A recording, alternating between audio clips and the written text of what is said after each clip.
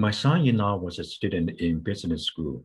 He was trying to find an intern uh, in the investment banking. He spent a lot, a lot, a lot of time. And uh, eventually he found an opportunity, but he failed the interview. He was so depressed and almost uh, give up.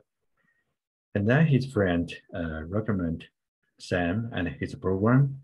Uh, he came to us asking for financial support and uh, it's a lot of money for us. So we did a lot of research about Sam and his program. And then we decided to join the program. Sam helped him a lot in uh, try to uh, uh, how to find the opportunities and how to do networking and how to prepare for interviews and how to answer questions during the interview. Uh, finally, he got a very good opportunity in, uh, in New York.